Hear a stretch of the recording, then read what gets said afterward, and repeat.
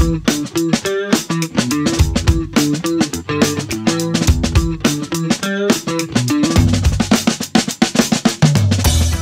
guest today is Gael Fraiteur. Gael, how are you today? Great, uh, thank you. How are you? I'm doing great. It's been a long time since we've spoken, my friend, and uh, I know that um, when last time you were on the show, you were we've talked about your product PostSharp, which you've had for many many years and still have, but I understand you have a new product as well. Yes, um, because Roslyn is becoming uh, more and more powerful and extensible. So three, four years ago, Microsoft came with the source generators, and I told to myself it is it is the moment to to do a new product based on Roslyn and not based on on uh, MSIL uh, transformation. Well, back back in the time, back in 2004, the C sharp compiler was closed source. It was a C++ right. code base, and the challenge that that we had at this moment was um, well in C sharp you had a lot of boilerplate code that you had to write um, and to and to generate this this like boilerplate code. Uh, first, quick to define boilerplate code. Yeah, so boilerplate code is, is a term that comes from the legal jargon. You know, it's when you have a contract, you have all these things that always gets repeated, like you know the the cancellation clause and uh, like uh, well all these things. And so um, it came to software engineering as the code that you need to repeat in every every method or in every every class. Uh, the hello world example for boilerplate code is is is logging you may have a mm. requirement that you need to log every public method in this namespace. And um, the problem is that the C sharp language doesn't have a construct that allows you to say for each public method in this namespace, add logging. Mm. Um, so logging is a very typical example, a bit a bit boring. Another extremely typical example is the implementation of notify property changed. Because if mm. you think about how you implement this interface, um, well, it's not enough just to add the event. You also need to go and to and to edit all property setters to compare the new value with the old value. And if the value is different, you raise the the event. So you can describe to to your colleague how to implement the, the interface. You can create an algorithm to to implement these uh, these patterns, hmm. but you cannot express this algorithm in C sharp because the compiler doesn't allow for that. And so back back in 2004, uh, I said, okay, the compiler does not allow for that, so we are going to read the MSIL, transform it, and do this for each method. Do that, inject all the code that we need, and um, and compile it back. So this was in 2004, and um, when Roslyn came with um, with um, source generators, so I thought it was the time to do to do it a new product that would be based on Roslyn and not on not on IMSIL transformation. So this mm. this became Metalama. It was quite a journey, and we did a, a soft launch last May. So now it is stable, and most most problems have been fixed, and uh, that's that's what we are working on now, and since since the last years. Oh, okay. So it, it's um it's generating um, code for you, boilerplate code for you. That's the idea, right? Um, yes. And uh, and doing it for a whole set of uh, you know, like everything in a namespace, for example, the example that you gave. Yeah, there are two there are two ways that you would do that typically. You know, one one way would you would hand pick the targets with the custom attribute. So okay, this this this class needs needs a notify property change pattern or mm. this class needs needs uh, change tracking, and mm. then you can quantify this, and you and you say you you actually do a LINQ query over your code, ah. and you say for for for all public namespaces uh, for all public classes uh, that implement this interface do this. Oh wow! So there are these two ways. There is a third way where you can have aspect inheritance. For instance, if the base class implements notify property change, of course, all hmm. uh, all derived classes should also uh, also implement the same interface. And we have the same. So um, the the typical problems that are that that generate a lot of boilerplate code. Um, so I named logging and um, and notify property change the two the two examples. You have in general uh, all profiling and and uh, telemetry. I collecting collecting this this information. Um, object model things. So how do you generate uh, toString? Like it's also hmm. boilerplate code. How do you generate um, deep cloning, for instance? You can think mm. of a lot of patterns that you would like to be able to to code the implementation, but you can't because because the C sharp language is is limited. Okay. So, so Metalama is a tool that allows you to do that, not only to uh, uh, add logging, for example, but actually to implement a pattern.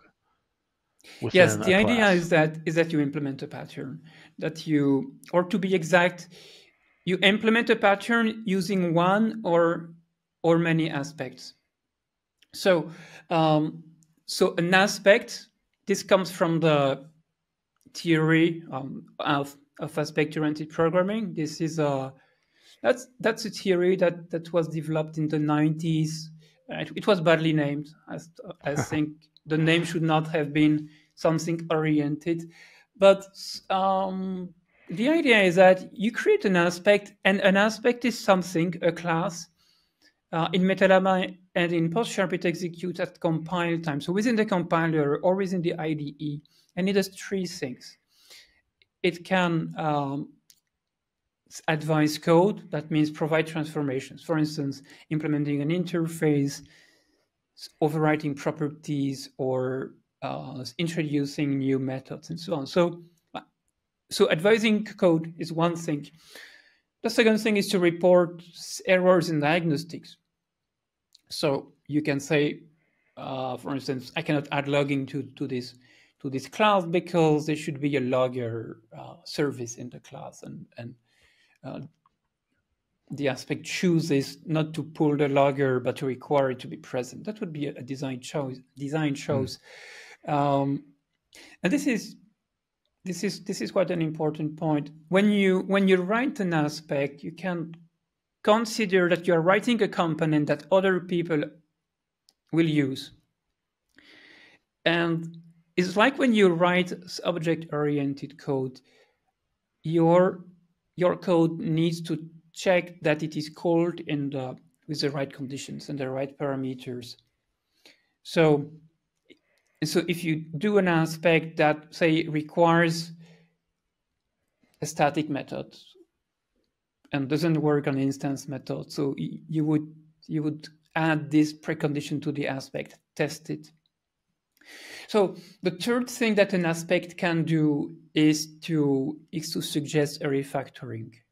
So for hmm. instance, you can you can uh, suggest a refactoring. Uh, well, one example is that if you have an automatic toString and you want to change it to a manual toString, but you don't want the user to write the code that has been generated manual uh, automatically, you would you would suggest the refactoring so that when the user clicks on you know the refactoring menu and change toString to uh, to source code, um, it well the the IDE the IDE would do that.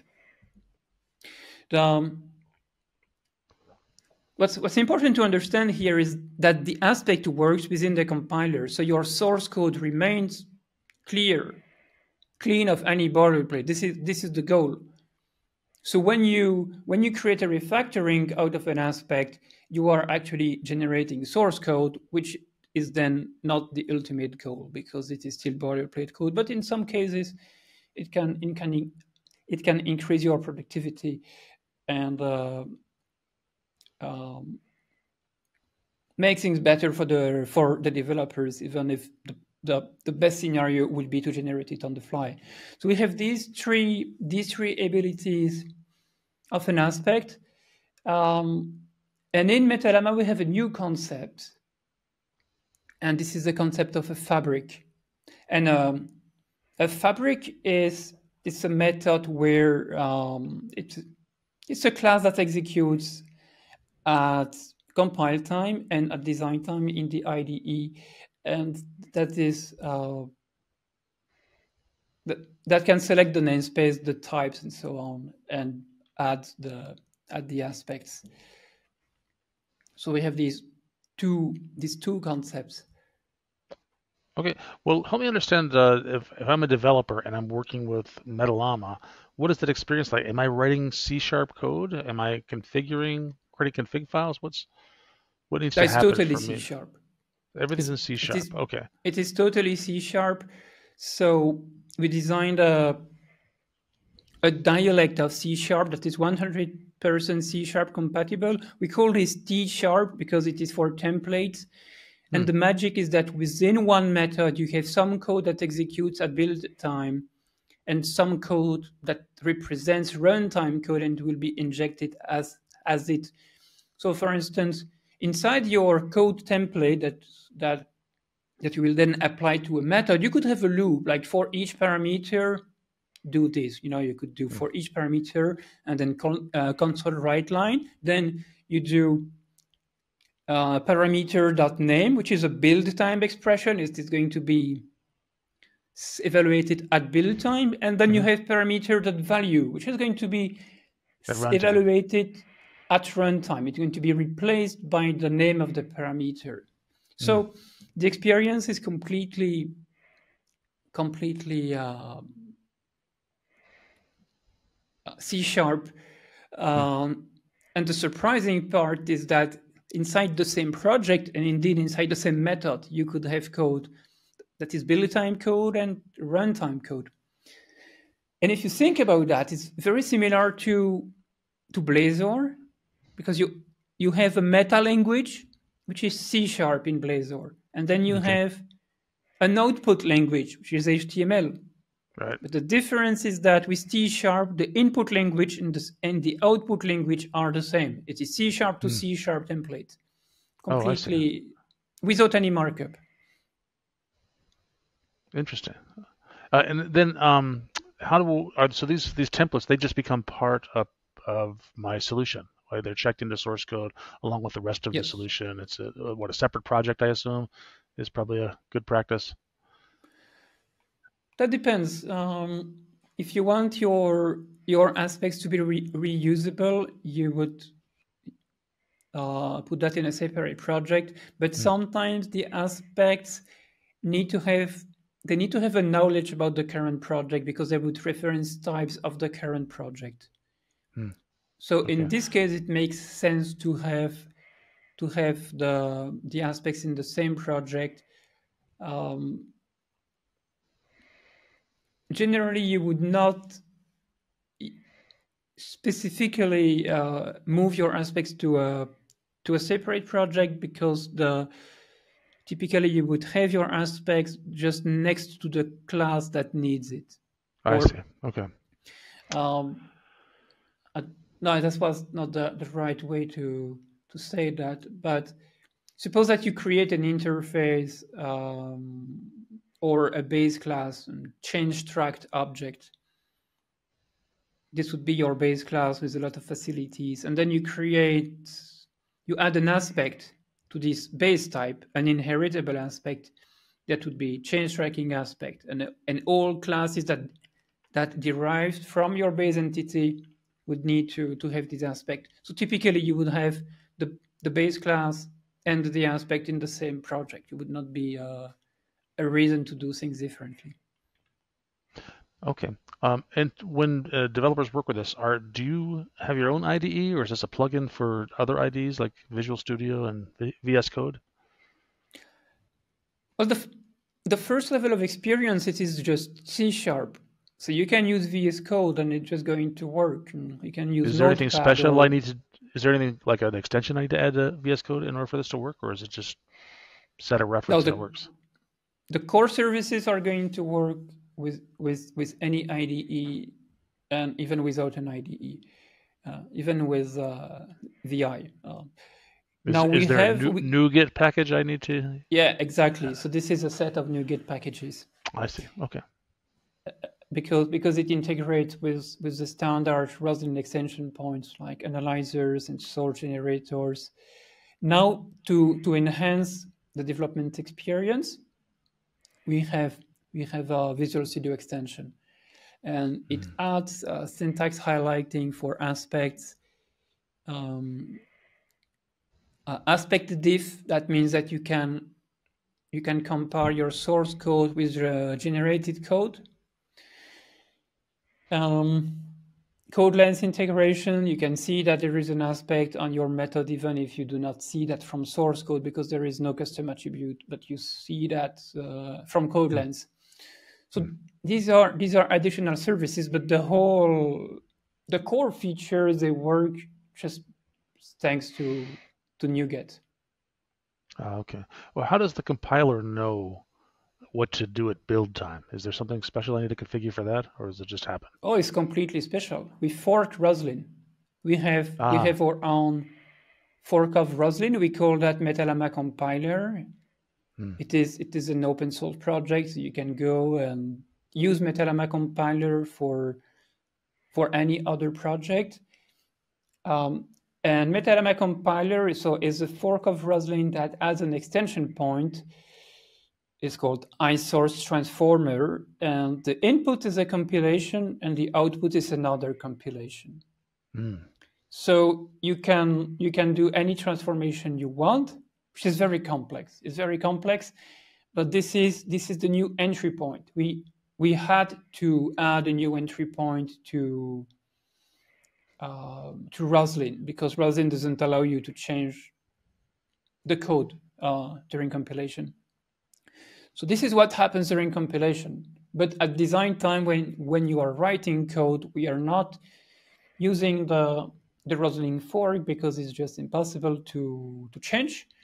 Um, and instead, we are using the standard extension points, analyzers, source generators, code fix providers. Okay. Uh, and uh, so it sounds like when when I go into Visual Studio, I hit build, it rather than calling the default builder, it's going to default call your fork of Roslyn to yes, do compilation. Exactly. Uh, yes. Interesting. Um, this is this is good information. As uh, you, you said, you said it's it went to beta last year, and it's uh, is it in general release yet? What's the yes? What's no, the it is. Uh, it it was generally available on May of last year. Got it. Okay. Yeah. So now it is it is stable. We didn't do a big party and big launch because uh, we were careful, and now it has been out in the wild for uh, more than half a year. You know. yeah. Well, well, so, once my once my tens of viewers watch this episode, You'll probably yes. have a phone call pour in, and maybe a card and a letter. yes, yes. So you can you can reach me on Slack when you when you go to our website. You will you will see a link. Oh, what, to... what is your website? postsharp.net slash metalama. Well, you can Google metalama and you will. Oh, I'll put it in the show there. So. Yes. So you can you can find me and uh, the rest of the of the development team on Slack. We will mm-hmm. answer questions. We have uh, quite a complete documentation with a lot of uh, of tutorials, of video tutorials. Um, does this I, everything you described yes. here? I think uh, also happened in your PostSharp product. Is this basically the next version of PostSharp, or, or is PostSharp will that continue to live as a separate product? Both, both are true. Uh, PostSharp continues to live as a separate product, but we stopped adding features. So we are in uh, in maintenance mode with PostSharp. We are we are still supporting users, and we are still adding support for the new platforms. But when there is something that is too difficult to do in the new C features, um, yeah, so we we are not going to to, to make a big effort. Okay. Uh, and Metalama on the other side supports all uh, all features, and this is where we are doing most most invest uh, most investments. So generally, PostSharp users uh, these are rather rather old projects now. Okay. Um, and so we continue supporting them. There is no fear to have uh, All right. That. So if you're if you're already using PostSharp, it's okay to keep using it for the foreseeable future. If you're new and you're not using either of these, you'd rather people uh, they do themselves a favor by looking at Metalama rather than PostSharp. That's where all the new development will be going. Yes, definitively. Yeah. Yes. Um, I know this is a big product that does a lot more than this. Can you just really quickly rattle off other features of Metalama besides the boilerplate code? Well, the first uh, the first we talked about is is boilerplate code uh, reduction, and the second big feature is um, code validation. So the the objective is to is to find architecture erosion, and architecture erosion happens when you have some concept of the architecture. You may have a documentation and UML diagrams. You may have uh, some selection of design patterns that you want to use. You may have coding guidelines, but they are in text. It's not executable.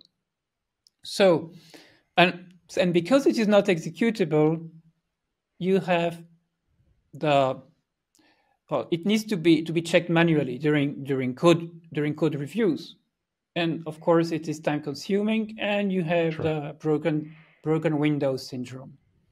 Somebody doesn't follow some rule, it is overlooked in a code review, or we get lenient, and over time, the the quality of the code declines. Yep. So I think it was a pragmatic of... programmer who introduced the broken window concept. Yeah.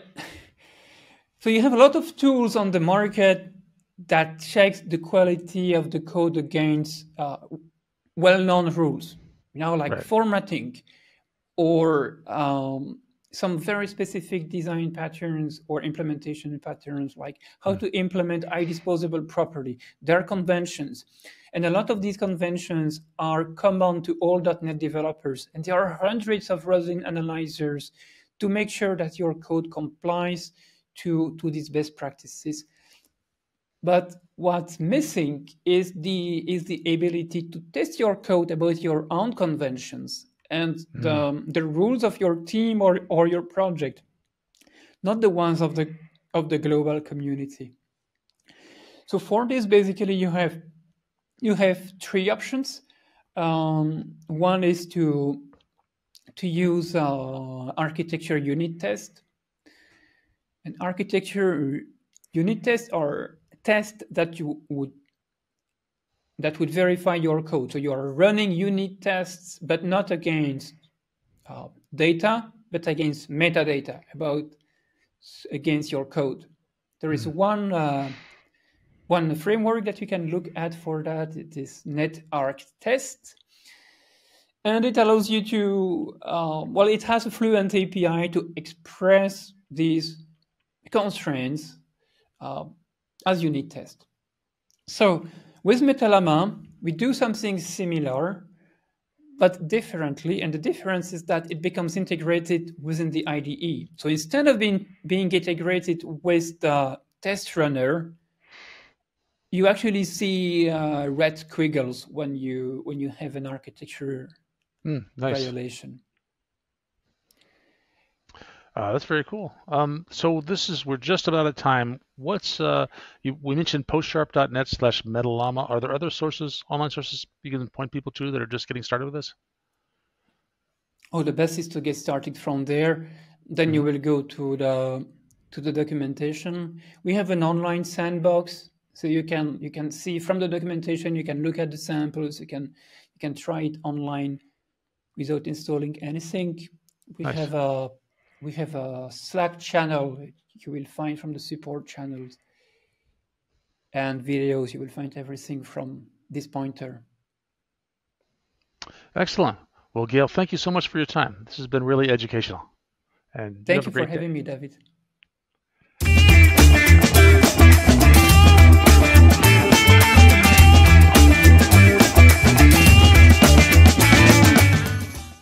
David, TFS is dead.